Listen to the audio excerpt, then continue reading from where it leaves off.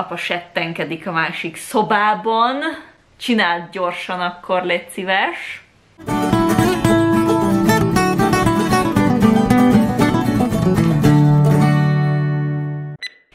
Sziasztok, Matilda vagyok, a mai videó pedig a májusi összegzésem lesz, ugyanis eltelt már a május, tehát ideje összegezni, hogy miket olvastam a hónapban. Kicsit úgy indult neki a május, hogy kevés könyvet fogok olvasni, aztán végül ilyen rövidebbekkel, meg képregényekkel kicsit uh, megtoltam.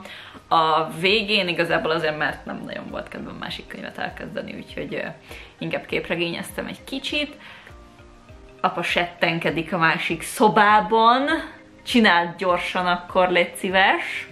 Főként, um, amit leginkább olvastam a hónapban, az nem más volt, mint az Aranybirodalom a maga 700 plusz oldalával, úgyhogy ez így nagyjából a májuson felét elvitte, mert uh, nem volt nagyon kedvem olvasni, úgyhogy így mindig ilyen kis falatokban haladtam vele, ilyen volt, amikor napokon át csak egy-egy fejezetet, aztán volt, amikor letoltam. Száz oldalt egyben, szóval ilyen változó tendenciát mutattam. Nem azért, mert rossz volt, hanem mert nem volt kedvem olvasni, um, viszont ugye áprilisban, meg májusban, tehát áprilisban kezdtem el a Dave olvasni, ugye a Bronzvárossal, és ez a harmadik befejező része annak a sorozatnak, és ennek kivételesen mind a három részét vlogoltam, főleg így, hogy ugye most egyben olvastam, és akkor mindegyik részhez van egy vlog is, így az Aranybirodalomhoz is készült már egy vlog, ami már kim van a csatornán, úgyhogy ezt ide be fogom linkelni, hogyha így részletesebben érdekel valakit. Szóval ez egy keleti keletésű fantazi, aminek a harmadik befejező trilógia része ez.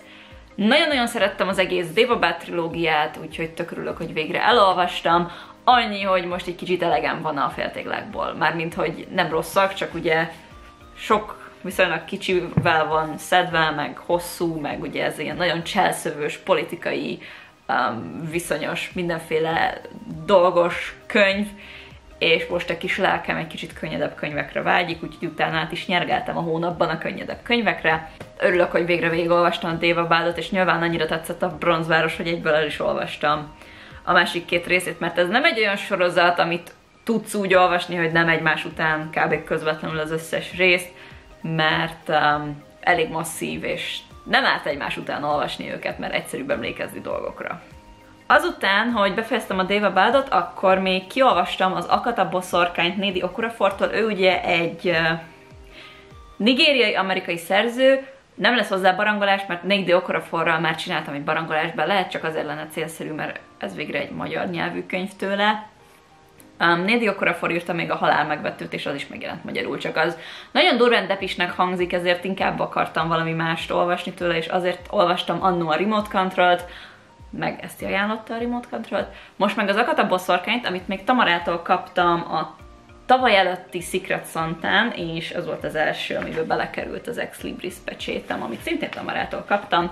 És ebben a kötetben uh, egy kislányt követünk, Sam Sunit, aki um, hát egy amerikai születésű, de egyébként nigériai származású kislány, és a szülei visszaköltöztek a családdal 9 éves korában Amerikából Nigériába, és emiatt is egyrészt nehézkesen tud beilleszkedni az ottani közösségbe, másrészt ő egy albínó uh, gyerek, tehát emiatt is nagyon-nagyon kitűnik szegény a tömegből, és nagyon, tényleg nagyon nehezen illeszkedik be, és ekkor történik az, hogy felfedezi, ez egyik iskolatársával, meg annak egy ismerősével így kiderítik, hogy hát ő is a Leopárt közösség tagja, Na most ebben a könyvben gyakorlatilag ami itt leopárd, az nagyjából úgy kell elképzelni, mint egy varázslót, és ezek a leopárdok képesek azt hiszem az Jujunak mondjuk, úgyhogy nagyon remélem, hogy Jujunak mondjuk, ugye Juju-nak van írva, és ilyenkor mindig elbizonytalanodok, hogy hogy kell kimondani dolgokat. Az lényeg, hogy ők Jujuval tudnak varázsolni, úgymond, vagy Jujut használnak, és um, arról szól a kötet, hogy egyrészt, hogy bevezetődik ebbe az egész leopárd közösségbe, megismerkedik ezzel a mágia rendszerrel, illetve mindeközben egyébként van egy sorozat gyilkos szabad lábon, aki ilyen rituális gyerekgyilkosságokat követ el, és így szép lassan ez a két szál össze fog fűződni a kötetben, és nagyon-nagyon szerettem, és nagyon-nagyon menő mágia rendszere van. Tök jól volt fölvezetve, meg úgy bemutatva, hogy ez az egész hogyan működik. Egy ilyen kis rövidke könyvről van szó, mondjuk pont ez a nagyon fehér lapú, és azért viszonylag sok szöveg van benne, és ez egyébként egy sorozat, és még van két része, ami mind a kettő ilyen 500 oldalas, úgyhogy majd egyszer, hát nem tudom, hogy hát ha lefordítják majd azt is, vagy majd el kell olvasnom angolul, mert amúgy nagyon tetszett a könyv maga. Egyetlen egy dolog, ami nem tetszett ebben a könyvben, hogy annyit szívták az emberek a fogukat, hogy ez már sok volt. Tehát nem tudom, hogy az ilyen fordításban, hogy ez volt a legmegfelelőbb kifejezés magyarul, de annyit. Szerintem legalább minden második oldalon valaki szívta a fogát. Valamint ez volt a reakciója valamire, hogy megszívta a fogát. És így az első párnál még oké okay volt, de utána folyamatosan ez volt, ez az egyetlen egy dolog volt, ami zavart ebben az egész kötetben, hogy mindenki szívta a fogát, és már így gondolkoztam, hogy mikor fognak kiesni a fogaik, hogyha ennyit szívják őket. Úgyhogy egy nagyon-nagyon jó könyv volt, nyilvánvalóan Eszti ajánlotta ezt is, um, és ez is egy olyan kötet Nédi Okorafortól, amitől nem akarsz a kardodba dőlni. Mert a halál megvető egyébként érdekel engem, de az nagyon kardomba dőlős könyvnek tűnik, ez meg nem az, mert ez egy ifjúsági kötet, egy, gyakorlatilag ez egy ifjúsági kaland fantazi, és emiatt nem, nem érzed azt, hogy szenvedés. De ettől függetlenül foglalkozik ez is komoly témákkal, tehát hogy megvan benne, csak nem leszel tőle annyira depis. És tök érdekes, úgyhogy tényleg nagyon remélem, hogy majd jön a többi része is magyarul. Hát ennek ez a kiadás, ez 2021-es, még bármi lehet. Úgyhogy nagyon tetszett. Ez is.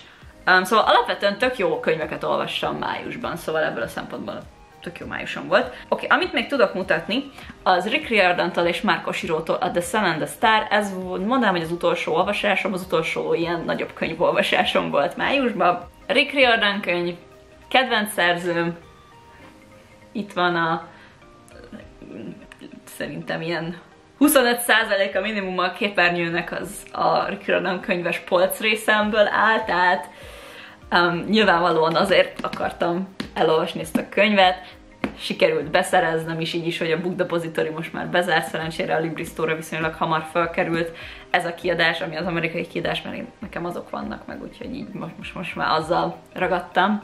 És ugye egy idő után már csak a kemény táblások, nézzétek, nem ilyen szépek.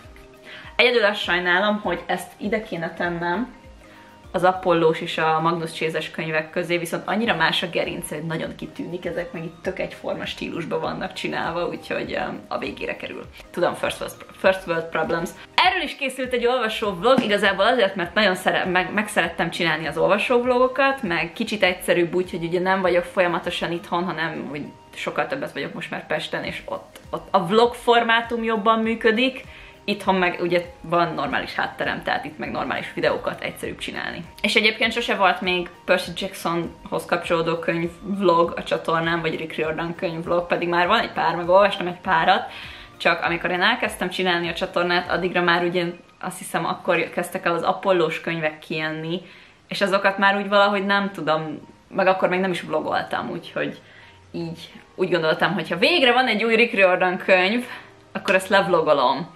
Um, ez egy kicsit egy önálló kötet is, mert ez egy spin-off kötet, Nikót és Wilt követjük benne, és hát jó mondjuk olyan szempontból nem szerencsés ebből vlogot csinálni, ez inkább a rajongóknak um, érdekesebb, ugyanis ez a Trials of Apollo sorozat, vagy Apollon próbái sorozat után játszódik, ami 15 könyvet jelent, és igazából nem azt mondom, hogy muszáj végigolvasni, mint a 15 könyvet, de ajánlott, mert sok minden olyasmi van benne, amit alapvetően oké, okay, nem muszáj érteni, de ha érted, hogy miért van róla szó, akkor az úgy nyilván ad az élményhez. És a fő cselekmény szál, vagy a fő konfliktus szál, ami ebben a könyvben van, az a Hades házában van leírva, viszont egy csomó spoiler van nyilván benne az előző kötetekre nézve is, meg a Trials of Apollo-ra is, tehát hogy úgy nem muszáj, de ajánlott a Trials of Apollo után olvasni. Csak ugye még annak az utolsó része nem jött ki magyarul. Azt hiszem idén fog. Nem tudom, én ugye már egy ideje csak angolul olvasok Ricky Riordan. Nem meglepő módon imádtam ezt a könyvet, meg Nico az egyik kedvenc szereplőm, és mivel vlogoltam, ebből is van egy vlog, szintén ide be fogom linkelni. Nagyon gyorsan kiolvastam, úgyhogy nincs benne olyan sok bejelentkezés, mert hogy lényegesen kevesebb szöveg van benne, mint a az aranybirodalomban, meg szellősebb, meg könnyebb vele haladni, ugye ez ilyen middle grade per young adult kötet, tehát ez, ez azért más kategória. Úgyhogy nagyon szerettem ezt is, nagyon jó volt. Na és ezeken kívül egyébként olvastam még pár kötetet. Az egyik, az Cressida cowell volt, az Így neveld a vikingedet, ami egy ilyen így neveld a sárkányodat kiegészítő kötet, itt vannak az így neveld a sárkányodat könyveim, ezt is ugyebár nagyon-nagyon szeretem, és idén lesz 20 éves, az, vagy hát idén 20 éves az így a sárkányodat első része, és ennek alkalmából a magyar kiadója, ugye a magyar kiadója az így a sárkányodatnak az a Digital Art Studio, és uh, engem azzal keresett meg a kiadó, hogy ugye idén lesz 20 éves a kötet, és hogy most ennek örömére, tiszteletére kihozzák az így neveld a Vikingedet kiegészítő kötetet, ami egy ideje már megjelent külföldön, viszont magyarul nem, és ez egy ilyen 80 oldal körüli kis kötetecske, ami fogatlan szemszögéből van íródva,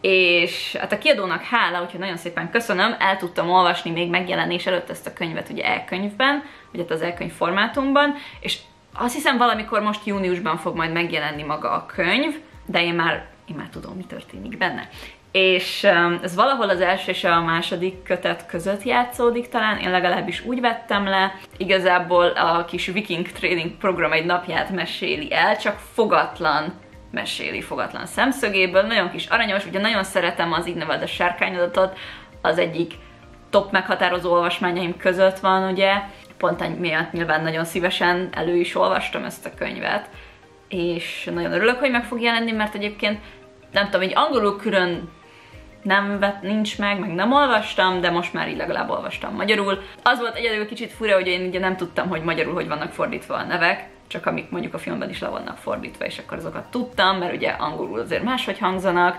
De nagyon élveztem, egy ilyen kis halászásos versenyről szól, megszokott Cressida Cowell stílusban, meg Innevald a sárkányodat stílusban, úgyhogy nagyon várom, hogy meg is jelenjen ez a könyv és nagyon durva, hogy már 20 éves egyébként az így neved a sárkányodat. Én 2016-ban kezdtem el azt hiszem olvasni, ami azt jelenti, hogy már 17, 18, 19, 20, 21, 22, 23. Jézusom, már 7 éve. És már vagy kétszer újra is olvastam. Hmm.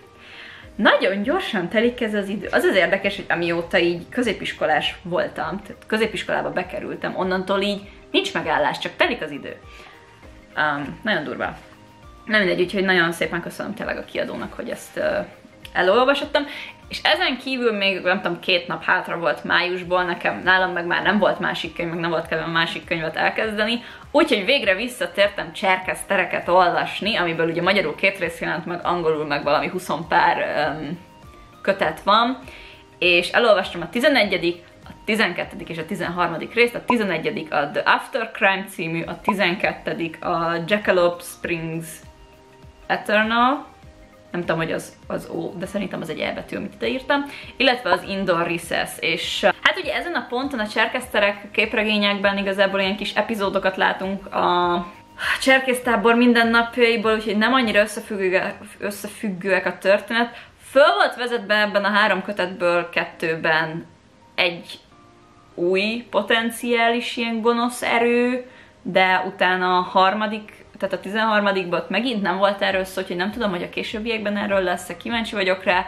Um, ugye alapvetően nagyon szeretem a cserkesztőreket is, csak így, mivel hogy annyira ilyen kis epizódok, és egyre, tehát hogy nem, nem feltétlenül kapcsolódnak nagyon egymáshoz, ezért, ezért történt az, hogy most másfél éve nem olvastam cserkesztereket, de most végre megint olvastam, úgyhogy majd hát megpróbálom idén befejezni, mert így igazából már csak 7 kötet van vissza, és ugye most ezt a hármat, ezt gyakorlatilag majdnem egy nap alatt olvastam el, mert tehát ilyen 112 oldalas rövid kis képregényekről beszélünk, de nagyon szeretem, mert amúgy meg nagyon kis élvezetes, meg nagyon jó kikapcsolódások ezek a képregények, úgyhogy majd próbálom folytatni őket tovább, meg befejezni.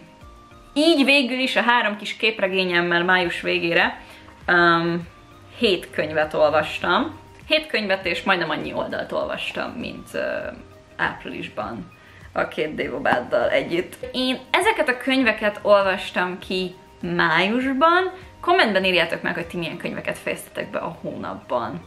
Köszönöm, hogy megnéztétek a videómat, hogyha tetszett, nyomjatok egy like gombot, és iratkozzatok fel a csatornára. Sziasztok, viszlát a következő alkalommal!